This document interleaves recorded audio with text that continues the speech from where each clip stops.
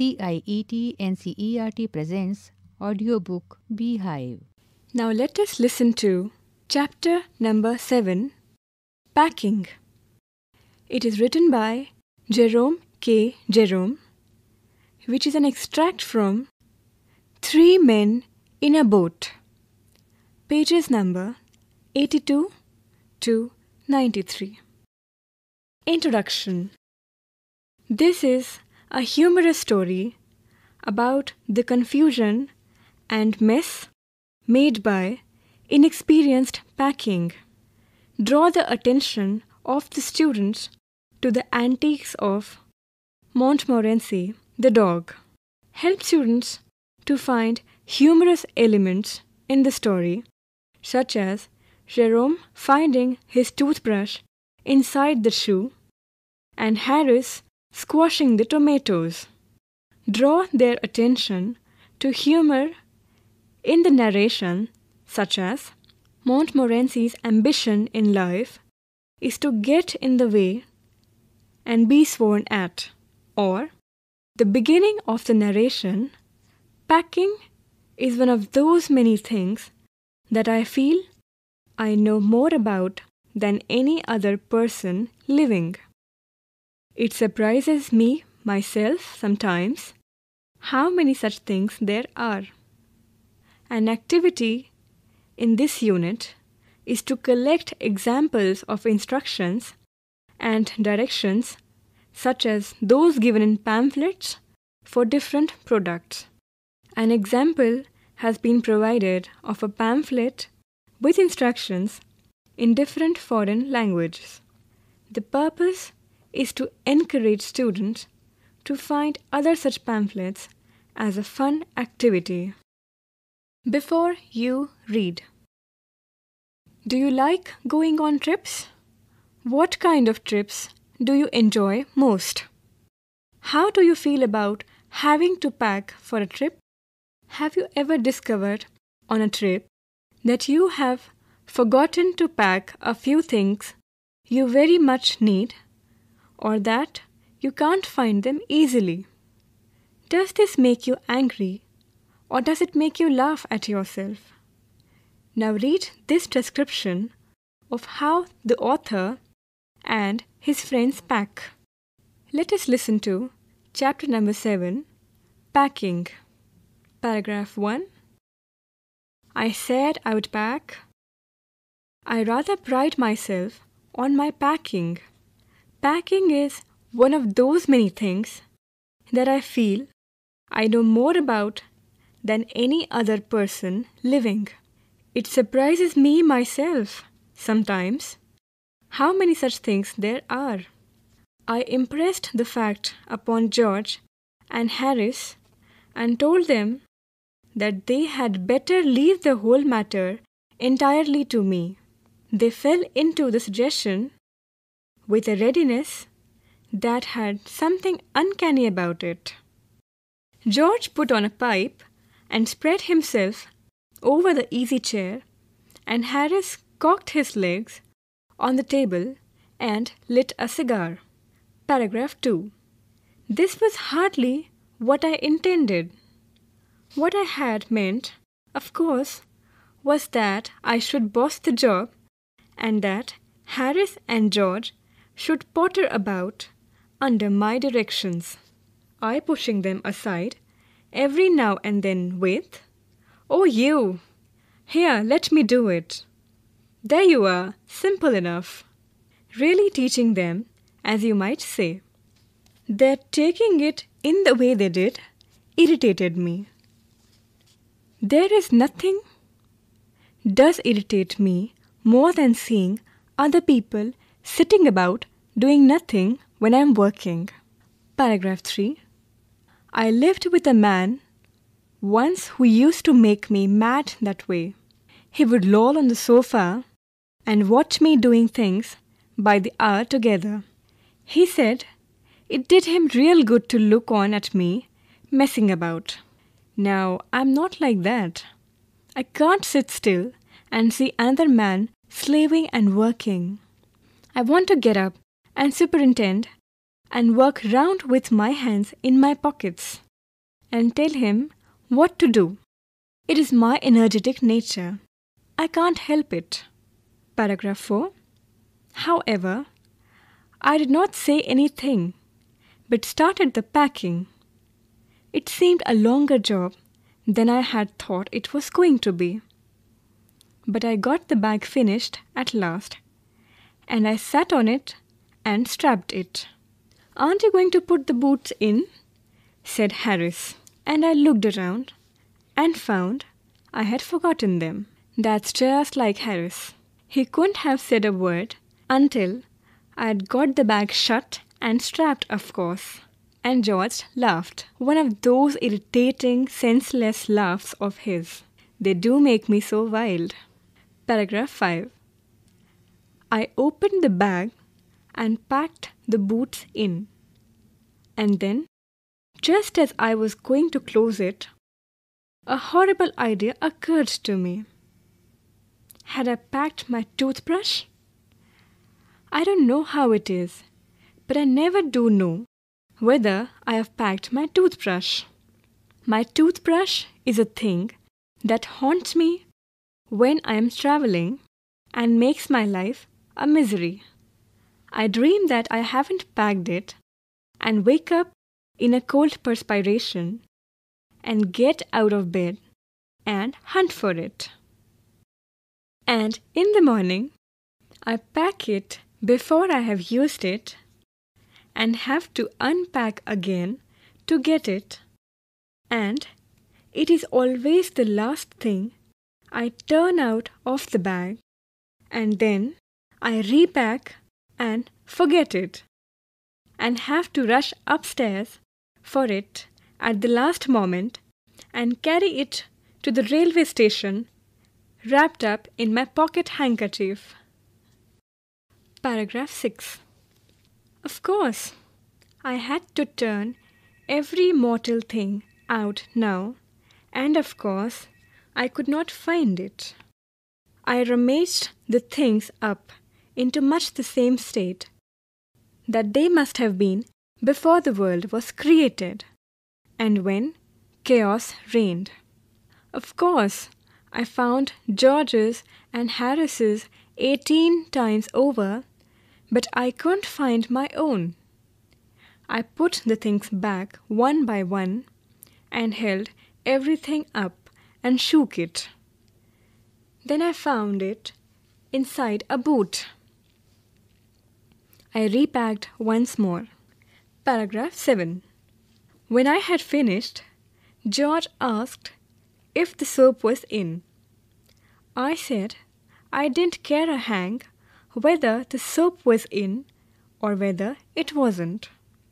And I slammed the bag shut and strapped it, and found that I had packed my tobacco pouch in it and had to reopen it.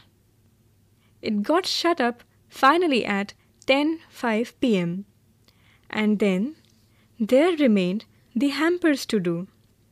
Harris said that we should be wanting to start in less than 12 hours' time, and thought that he and George had better do the rest. And I agreed and sat down, and they had a go. Paragraph 8. They began in a light hearted spirit, evidently intending to show me how to do it. I made no comment. I only waited. With the exception of George, Harris is the worst packer in this world. And I looked at the piles of plates and cups and kettles and bottles and jars and pies and stoves and cakes and tomatoes, etc., and felt that the thing would soon become exciting. It did. They started with breaking a cup. That was the first thing they did. They did that just to show you what they could do and to get you interested. Then Harris packed the strawberry jam on top of a tomato and squashed it. And they had to pick out the tomato with a teaspoon. Paragraph 9. And then It was George's turn, and he trod on the butter. I didn't say anything, but I came over and sat on the edge of the table and watched them. It irritated them more than anything I could have said. I felt that. It made them nervous and excited, and they stepped on things and put things behind them, and they couldn't find them when they wanted them. And they packed the pies at the bottom and put heavy things on top and smashed the pies in. Paragraph 10. They upset salt over everything, and as for the butter, I never saw two men do more with one and twopence worth of butter in my whole life than they did. After George had got it off his slipper, they tried to put it in the kettle. It won't go in, and what was in wouldn't come out. They did scrape it out at last and put it down on a chair, and Harris sat on it, and it stuck to him, and they went looking for it all over the room. Paragraph 11 I'll take my oath. I put it down on that chair, said George, staring at the empty seat. I saw you do it myself, not a minute ago, said Harris.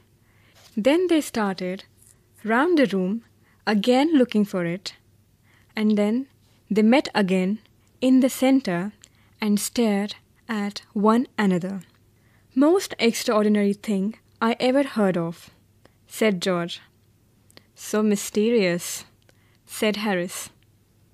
Then George got round at the back of Harris and saw it. Why, here it is all the time, he exclaimed indignantly. Where? cried Harris, spinning round. Stand still, can't you? roared George, flying after him. And they got it off and packed it in the teapot. Paragraph 12. Montmorency was in it all, of course. Montmorency's ambition in life is to get in the way and be sworn at. If he can squirm in anywhere where he's particularly not wanted, and be a perfect nuisance, and make people mad, and have things thrown at his head, then he feels his day has not been wasted. To get somebody to stumble over him and curse him steadily for an hour is his highest aim and object. And when he has succeeded in accomplishing this, his conceit becomes quite unbearable. Paragraph 13.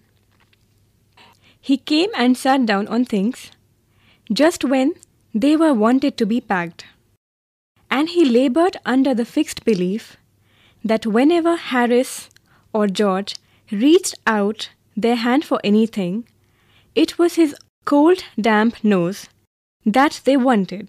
He put his leg into the jam and he worried the teaspoons, and he pretended that the lemons were rats and got into the hamper and killed three of them before. Harris could land him with the frying pan. Paragraph 14. Harris said, I encouraged him. I didn't encourage him. A dog like that doesn't want any encouragement. It's the natural, original sin that is born in him that makes him do things like that. The packing was done at 12:50 and Harris sat on the big hamper and said he hoped nothing would be found broken. George said that if anything was broken, it was broken, which reflection seemed to comfort him. He also said he was ready for bed. We were all ready for bed. Harris was to sleep with us that night, and we went upstairs. Paragraph 15. We tossed for beds, and Harris had to sleep with me. He said, Do you prefer the inside or the outside, Jay? I said, I generally preferred to sleep inside a bed. Harris said, it was odd. George said, What time shall I wake you fellows? Harris said, Seven. I said, No, six, because I wanted to write some letters. Harris and I had a bit of a row over it, but at last split the difference and said, Half past six. Wake us at 6:30, George, we said. Paragraph 16. George made no answer, and we found, on giving over, that he had been asleep for some time. So we placed the bath where he could tumble into it on getting out in the morning and went to bed ourselves. Word meanings Pride myself on means am proud of. Fell into means accepted. Uncanny means strange or weird. Potter about means do some unimportant things. Haunts means to repeatedly give trouble. Every mortal thing means every ordinary thing. Rummaged means searched in a hurried or careless way. Hampers means large baskets for carrying food. Trod on means stepped on. Be sworn at means get scolded. Conceit here means his pride in himself. Worried means disturbed. Reflection means thought. Split the difference. This means that they agreed on 6:30 because it was halfway between 6 and 7. Thinking about the text. First part Discuss in pairs and answer each question below in a short paragraph of about 30 to 40 words. 1. How many characters are there in the narrative? Name them. Don't forget the dog. 2. Why did the narrator, Jerome, volunteer to do the packing? 3.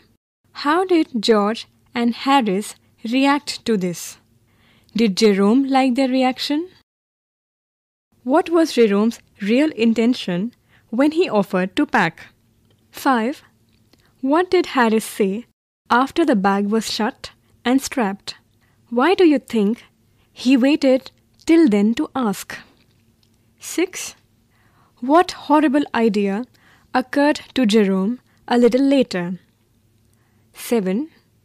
Where did Jerome finally find the toothbrush? 8.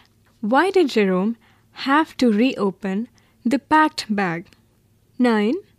What did George and Harris offer to pack and why? 10. While packing the hamper, George and Harris do a number of foolish and funny things. Take the statements that are true. First, they started with breaking a cup. Second, they also broke a plate. Third, they squashed a tomato. Fourth, they trod on the butter.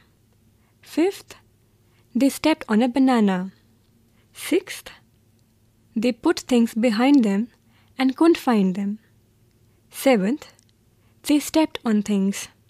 Eighth, they packed the pictures at the bottom and put heavy things on top. Ninth, they upset almost everything. Tenth, they were very good at packing. Second part What does Jerome say was Montmorency's ambition in life? What do you think of Montmorency and why?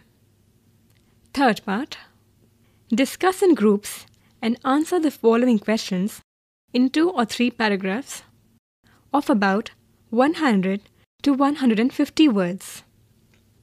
1. Of the three, Jerome, George, and Harris, who do you think is the best or worst packer? Support your answer with details from the text. 2. How did Montmorency contribute to the packing? 3. Do you find this story funny? What are the humorous elements in it? Pick out at least three. Think about what happens as well as how it is described. Thinking about language. First, match the words or phrases in column A with their meanings in column B. Column A contents 1. Slaving 2. Chaos 3. Rummage 4. Scrape out 5. Stumble over or tumble into 6. Accomplish 7. Uncanny 8. To have or get into a row. Column B contains First, a quarrel or an argument. Second, remove something from inside another thing using a sharp tool. Third, strange, mysterious, difficult to explain. Fourth, finish successfully, achieve. Fifth, search for something by moving things around hurriedly or carelessly. Sixth, complete confusion and disorder. Seventh, fall or step awkwardly while walking. Eighth, working hard. Second, use suitable words or phrases from column A above to complete the paragraph given below. A traffic jam. During power cuts, when traffic lights go off, there is utter blank at crossroads. Drivers add to the confusion by blank over their right of way and nearly come to blows. Sometimes passers by, seeing a few policemen blank at regulating traffic, step in to help. This gives them a feeling of having blank something. Third, look at the sentences below. Notice that the verbs italicized are all in their bare form. Simple commands stand up, put it here. Directions to reach your home, board bus number 121 and get down at Sagar Restaurant. From there, turn right and walk till you reach a bookshop. My home is just behind the shop. Do's and don'ts. Always get up for your elders. Don't shout in class. Instructions for making a fruit salad. Ingredients oranges 2, pineapple 1 large piece, cherries 250 grams, bananas 2, any other fruit you like. Wash the fruit, cut them into small pieces, mix them well, add a few drops of lime juice, add sugar to taste. Now add some cream or ice cream if you wish to. Make fruit salad with ice cream. 1. Now work in pairs. Give A. Two commands to your partner. B. Two do's and don'ts to a new student in your class. C. Directions to get to each other's houses. D. Instructions for moving the body in an exercise or a dance or for cooking something. 2. The table below has some proverbs telling you what to do and what not to do. Fill in the blanks and add a few more such proverbs to the table. Column 1 Positive Column 2 Negative. Column 1 contents First, save for a rainy day. Second, make hay while the sun shines. Third, blank before you leap. Fourth, blank and let live. Column 2 contents are First, don't cry over spilt milk. Second, don't put the cart before the horse. Third, blank a mountain out of a molehill. Fourth, blank all your eggs in one basket. Writing. You have seen how Jerome, George, and Harris mess up their packing, especially of the hamper.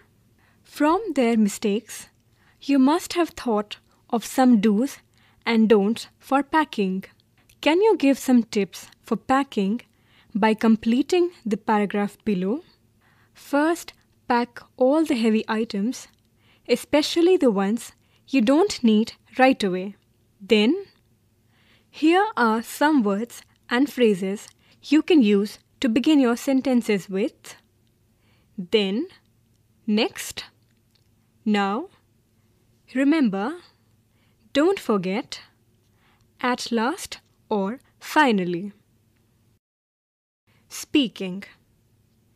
Look at this sentence. I told George and Harris that they had better leave the whole matter entirely to me. The words had better are used in an advice or suggestion. For example, you had better take your umbrella. It looks like rain. Example 2. In an order. You had better complete your homework before you go out to play. And as a threat. Example, you had better leave or I'll have you arrested for trespass. When we speak, we say you would, I would, he would, better, instead of you had, better, etc. Work in pairs to give each other advice, orders, or suggestions, or even to threaten each other. Imagine situations like the following Your partner, 1. hasn't returned a book to the library, 2. has forgotten to bring lunch, 3. hasn't got enough change for bus fare, 4. has found out a secret about you, 5. has misplaced your English textbook. Activity Collect some examples of instructions, directions, etc. from notice boards and pamphlets. Bring them to class and display them or read them out. You can collect examples in English as well as other languages, Indian or foreign. You were just listening to this chapter from Beehive, presented by CIET NCERT, New Delhi, India.